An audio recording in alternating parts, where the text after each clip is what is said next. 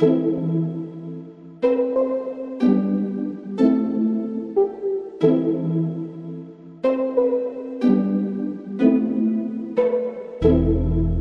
love this beat.